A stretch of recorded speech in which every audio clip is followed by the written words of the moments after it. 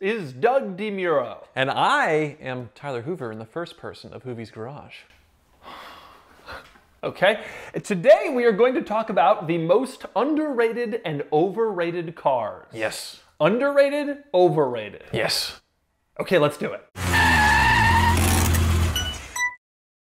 Before I get started, be sure to check out Cars and Bids, which is my enthusiast car auction website for cool cars from the modern era with free listings. You can list your cool car for free and auction it on Cars and Bids. And you should because we've had some great sales lately, like this Porsche Macan Turbo that brought just under $49,000, this fantastic Shelby GT500 that sold for just over $91,000, and this great Aston Martin DB9 that sold for just over $45,000. If you're looking to buy or sell a cool enthusiast car from the modern era, Cars and Bids is the place to do it with daily auctions and great selection. Check it out at carsandbids.com. Okay, we are going to do underrated and overrated cars. Can I start? Okay, what do you want to start with?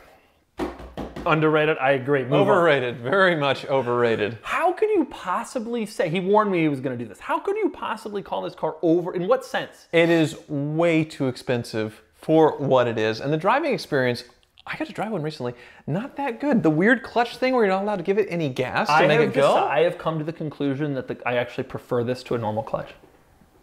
If you get used to it, it makes more sense. You let off, Uh-huh. and then you don't do anything, and once it's moving, then you give it gas. There's no like find the bite point, and it's different in every car, and it's a bunch of gas.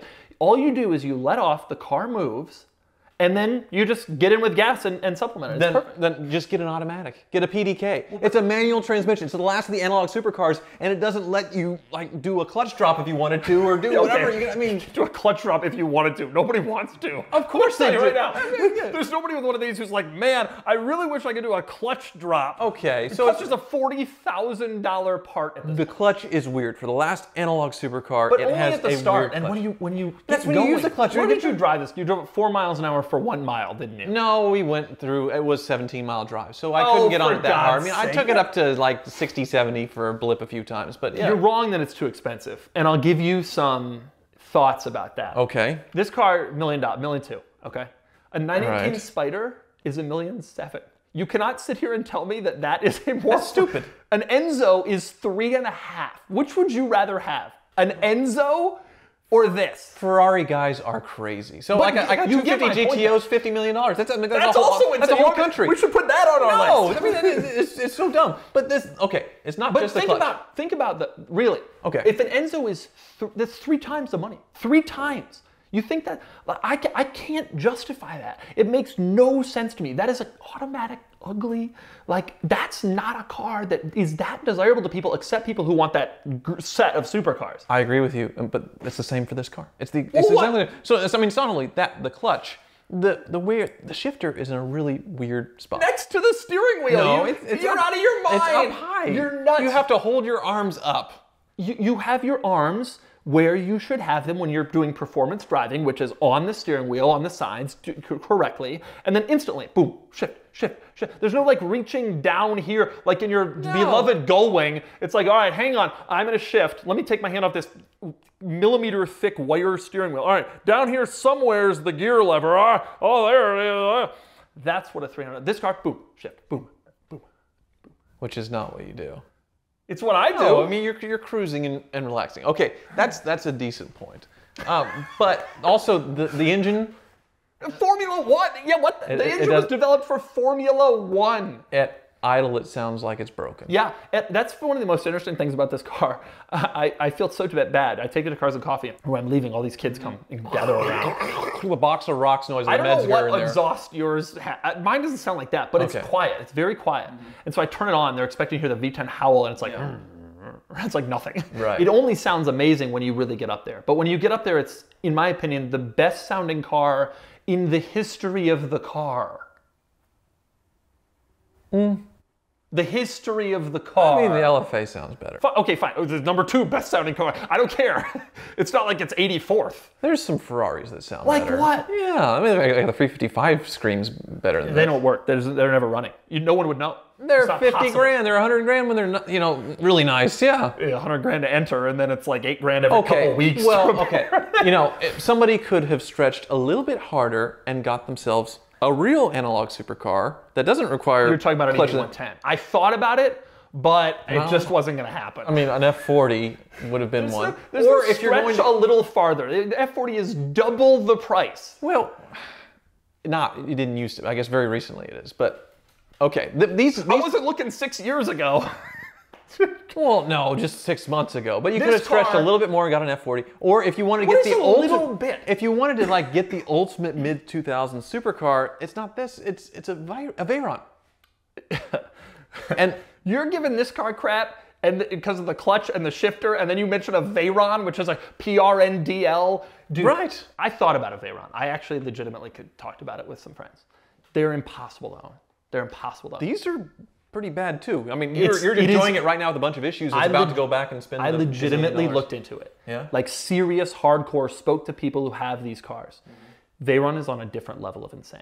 This car has some temperamental stuff, um, and it can get kind of expensive. However, the owner who had it two owners before me owned it for nine years in San Diego. He only ever did oil changes, and it was twelve hundred bucks an oil change. And every year he would do an oil change at the Porsche dealer, and that was that. Now, when he sold it, it had fifty-eight thousand dollars in deferred maintenance, but that's a long period of time.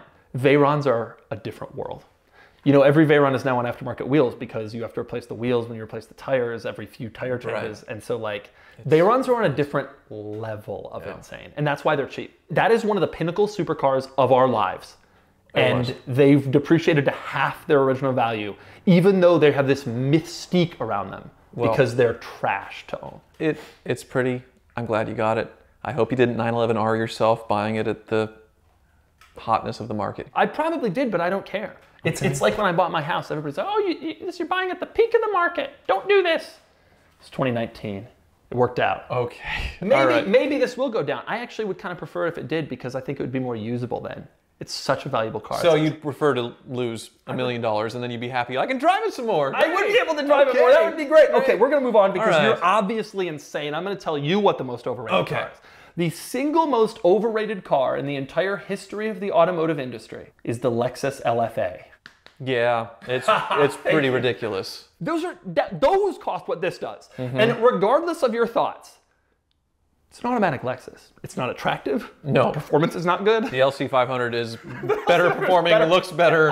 Um, yeah, the more comfortable on the inside. Totally. Oh, oh yeah, yeah. LFA, I really think that's one of these situations. There's a few cars, and, and this is true of a lot of luxury goods, where like something will get really expensive because some really rich guys who are not really all that sophisticated kind of ratchet it up because they just want one because their buddy's got one and they're Yes. worried they're going to miss out. And I swear that's what's going on with the LFA market. It's like, Mm-hmm. How is that a million bucks? It's not good to drive. It's not good to look at. When Lexus tried to sell them new, they had to hire a dude. It was two years. The one they bought one at the Wichita, Kansas Lexus dealer. It's there for two years. Two years, Didn't it's a sell. sat. Just sat. Yeah. For were- 400 They were terrified. I bet Yeah. they I bet mm-hmm. they got rid of it at 50 Oh, it was it was a lot. Yeah, off. Yeah, I remember. I just I liked the LFA. I liked it at 350. I liked mm-hmm. it at 450.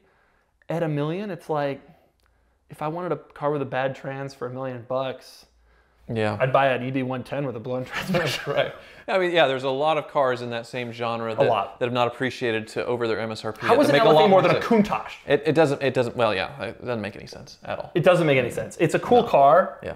but it's not that cool. Yeah, but your point about uh, you know rich people just hyping things up, I think do very much apply to the Land Rover Defender of any era and the Mercedes G wagon. Really, These of are more cars that I own. These are more cars that I own. I, and think, I think that's. I mean, I think those are two things. Like I would be offended by this, except I also have Land Rover Defender on my list of overrated. very good. like, it's such trash. Oh yes. But I get people come up to me when I drive mine all the time being like, whoa, this is a Jeep, but it's a Land Rover. How do I get one of these? And I want to be like, you don't. No. because if you're not an enthusiast, you shouldn't own that car. It's, Right. it's leaking all the time and it's like a tough vehicle to drive and own. I just drove one yesterday that uh, it's an outfit out of Florida. and it's it's got ED in the name. I remember that, but there's in the middle, and they spent you spend three hundred thousand dollars either EV swapping or LS swapping, and you get a 110 that everything's gone through. It was the best driving 110 But- ever, but it was three hundred And thousand and the thing I've learned about all those companies, because there's a million outfitters now for defenders, it's still a defender. You can only do so much to it to make it good. It's still rough, loud, awful in Yes. basically every way. Like Right. it's still a defender. And people think they can buy them and put in all this Dynamat and leather and diamond stitch seats and nice wheels, and then it's like nice. It will never drive like your Range Rover. And I think that's what people, when they come up to me, they want. They're like, wow, here's an opportunity to own a Jeep, but it's a Land Rover, so it's going to be nicer. But what they don't know is it's actually worse. It's Absolutely. measurably worse. I mean, you're one of the few people that actually uses it, obviously, doing the beach driving in Nantucket. And also, you know, you drive around, when you have it here, obviously, you're just driving around the city, car spotting, and all that stuff. But did you drive across country once? No, I don't- will you- never. Like, you would ne- no, no. I mean, be- never. be it has been discussed. I will never do it. No. No, I think that car. I think the thing about the Defender is it's super cool, but like it's it should be just super cool to like people who want to maintain an old truck. Right. And when it got when it got into this whole rich person thing, Mm-hmm. that kind of it didn't ruin it. It just like it, it got crazy expensive for something that never should have was never intended to be like a nice expensive car. Right. And what a ridiculous vehicle. Yeah. Yeah, and the G Wagon certainly is much more usable in any form, but it's also, I think, pretty overrated and inflated. So, like the first year, like a 2002 GF500 with 150,000 miles was still a $30,000 car. The thing and about then G's, just, it's I- I, don't. I agree slash disagree. New G's, I think, are super overrated. Oh, they're- you got yeah, rich people now paying silly. 100 over. Silly. When Even now, when the market is slowed, they're like down to 25 over. right, and Mercedes has raised the MSRP as well Yeah. to get a little more. So it's it's still like 50 plus over from a few years ago. Right. Yeah. That's right. And that those are certainly overrated. The thing that's cool about the older ones is they're pretty reliable. People don't younger people don't associate Mercedes-Benz with reliability, but like the M113 V8 era, which those early Gs had, my G has, the car just never it just always runs. But there's other things. I mean, you look at the window regulator the wrong way and it just falls down. And That was a problem on the early US cars, Yeah. yeah. An M113 with a triple locker, mm-hmm. that car's never going to be cheap because any, just like Land Cruisers, Yeah. any good off-roader that becomes old, there will always be a floor because off-roaders will buy them. Degenerate off-roaders I suppose. will just pick them up and lift them and stuff. And that's why XJ Cherokees are still expensive. And that's why even like YJs are still relatively expensive for nice ones It can be. because you can still go and do stuff with them. And Gs are really capable. They are, but they also rust apart the paint bonding Rust is issues the and all problem. that. I mean, it, Rust there's just the there's just so much to deal with. I, you say it's reliable, but there's there's so many ancillary items. That was a hard word to say. That uh, just mess up. I don't entirely disagree, but but I've never had any issues with mine. It's it's it, and and, and You, you had a flatbed tow at one I time. did it have to broke flatbed down. at one. Hey, when the if- ignition, the listen. electronic ignition from the weird little laser key broke, right? if we were listing cars that were unreliable based on the time the number of times I had to flatbed them, none of my cars would be considered reliable. Neither would any of yours. Mm, yeah. Okay. I did Got flip it at once. The, it has an ignition issue. It's not the laser key, but the ignitions failed. Mine failed um, in a bad spot. But other than that, um, it's been dead reliable, and I, I daily it. And I, I hear from other guys who have mid 90s, late 90s, early 2000s ones the same thing. They're pretty reliable. When they brought them to the States, they added a bunch of leather, luxury, all these screens. Everything got a little, started to get a little out there. And then they changed powertrains and went to turbos. And Yeah, I don't but screw with that stuff. At its core, it was a cheap An military vehicle, and people are worshiping it like it's I do think it's crazy what the convertibles are selling for. Of course, yeah. That's that was the primary words. Yeah, I guess, and it's you owning it, so I had to say something. proof that Sorry. you actually think the Carrera GT is underrated. Um, okay, let's move on to underrated cars. Underrated. What do you got? What's your number one? Okay. Here. This Oh. is, I think this is it. Oh well, of course, all the cars that I currently own. Yeah. I mean, we talk about the That is what you've done here. What? God, this is classic Hoovie. what the, if He the has chosen, you're overrated all the cars that I have, and If- underrated all the cars that he has and probably will sell within the next 12 months. the Boy, I don't know why these cars aren't selling for more. pumping it up. Uh, if the LFA is worth million plus, million and a half, two million dollars, what's up with the SLR McLaren? I hate to agree with you because I, I think this is embarrassing what you've done today. Um, but yeah, why aren't SLRs more? Uh, obviously, there's only like 200 LFAs in There's, the US. I think so there's 400 LFAs. There's a lot more SLRs in the US, right? but yeah, How yeah, many a lot SLR? more. In the thousands, I think. Yeah. But what a cool car! 2,000, yeah. When I see an SLR, Mm-hmm. I like, even if it's at an event, I like lose it. It's so biz- alien looking. Right. It was a cool car. Compared to all of its contemporaries and what it was being compared to back in the day, yeah, I get that it's you know the slush box and it doesn't drive the same, and the weird brakes and, and all that. But it was in the same league as as this stuff, that- uh, what we dreamed about as kids, and it's the Those were the one, three when when we were kids. It was the GT, the Enzo, and the SLR. it's the only one that's not you know getting to Malibu Beach House money. You know, I So, agree. yeah. I agree. I'm surprised that they haven't gone higher. I agree with that. SLS you have on here too. I, I don't know. They made a ton of SLSs. They did, but it's really special too. It's Is it? It's AMG's first ground up design. It'll be the only car that they do a Gullwing with that's not going to be electric or hybrid. But isn't again. it just a goal? Like it's like a tribute. I love them. I love how they drive. But they're they're not cheap. What is it? What is it? 150 for a roadster, 200 for a coupe. ish? Yeah. I mean, that doesn't seem cheap to you. I mean, that's For there's a it's a big production run. And then they made better versions. That that whenever you do that, it like screws the original car.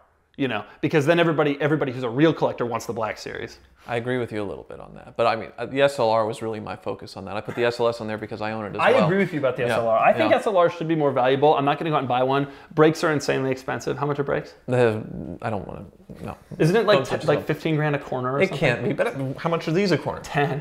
Oh, so they're a little cheaper. Huh? But there's a solution. Oh yeah, they can The One one interesting difference for this car, there's people out there who are really focused on trying to find more cost-effective things. I bet that's not happening with SLR all that much. Right. Uh, McLaren MSO, they'll let you send it back to Yeah, like, pimp I've it out seen- now. yeah, so yeah. that'll be fun to see those in products. But Underrated on my end, 996 GT2. here we are again. Nobody Yeah. talks about this car. yeah. There's 180 of them in the US. They're amazing. They're so good. Yeah. They drive so well. I haven't driven one, but I just the, the idea of it is And nobody wants a 996, but this car is incredibly rare. Do you know that 991 GT2s or 997 GT2s are like 800 grand? Some they're ridiculous. 996 Yeah. GT2s are like 160. Mm-hmm. How? Running eggs. It's insane. I know, right? so like, I know. I know. people- because because these people don't actually drive these cars. Mm-hmm. They buy the cars to to to collect and and and and invest in. So they don't care that the 962 is an amazing driver car. To them, they're worried that it's never going to really shoot up in value, so it's not a car they can buy. Yeah. F that. Right. Right. I mean, obviously the PDK is a crazy thing for a track car, and then the, the manuals that everybody keeps thinking, well, this is the last manual. But the GT2 is obviously the, uh, the Nurburgring record holder, and a, a lot Yeah. of press with that. Uh, but yeah, something about that car. Obviously, 962, so- it was also like subtle. Yeah, It oh, wasn't yeah. like the whole winged. right and graphics and colors. It was just and- like yeah. Mm-hmm. we're gonna do a turbo with a little different front end and a little different wing and no rear wiper, right. And it's gonna it's gonna Most of them will be silver. You know, Most will be silver. you know. Right. You don't know. Uh huh. And it's to kick you in the face. Right. I love that car. God, I want one. Oh yeah, BMW Z8. That's a good yeah, one. that's on my list. Yeah, a that's good my car. Yeah. Uh, that's legitimately a good one. Yeah. Those The market on Z8s is so weird. It was like 150 new, right? yep. And then it kind of went down. Way down. And then it went up. Right. And then it went down. but now they're about 150. Right. so 20 years later. Unless it's a color.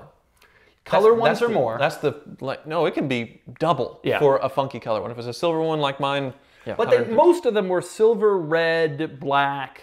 Those don't bring much more money, right? it depends. Yeah. But the crazy part about it is the Alpinas bring so much more than the regular Z8s. I know. And it's the it's the Worst. worst engine, a horrible slush box automatic. sense. It the makes no wheels look sense. good, which I, I put the Alpina wheels on my car, and it's it's perfect now. Uh, that's one of the most bizarre things that has ever happened and it's it's further proof of kind of what i was saying earlier that sometimes these unsophisticated rich people they, they hear that it's a low production alpina and they're like that's the one to have but like for people who are like know what they're talking about it's Right. not the one to have the z8 was a pretty awesome car to be Yeah. honest i think it's incredibly beautiful Yeah. it has that great powertrain manual Yes. transmission Yes, and then the throwback styling to the 507, and they Yeah. did such a good job of all the retro throwbacks. That's up there. I would say in the Ford GT being pretty, The absolute- like, I like, agree. like a tasteful tribute Yeah. to a vintage BMW. Yeah, but Oh, here's the the- but. the market. No, I'm just the, Okay, it all right. surprised me the market has never appreciated. I think Yeah. that the the, the um, production numbers plays a role there, significant. There's like Yeah. four thousand of those or something. Eh, yes, I, I,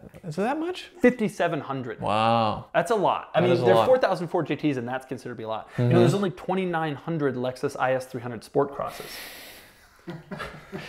And the fact that you know that is So why you, you are about who it- you are. So when you think about it, the IS300 Sport Cross is underrated. Very much. To Jay Z. I'm going to give you one Okay. more on my All right. list. Yeah. Lamborghini Gallardo. Mm-hmm. Have you noticed that Gallardos have never really taken off in price? Right. They're like 90 for an auto still. Yes. Sticks are more, but not much. Definitely. And I'm sitting here, Murci's, any Murci is now a big money car. Oh, I know. like, the crappiest Murci is like a 200 car now. Yep, stupid. You yeah. just sold the crappiest Murci. What did you No, get? I didn't sell it. I'm, I'm, I've still hung on to Oh, it, uh, but I'm, I'm debating. But yeah, I had the nicest gated Gallardo ever. Yeah. the blue one. I bought it with 3,000 miles. Put 3,000 miles on it a year.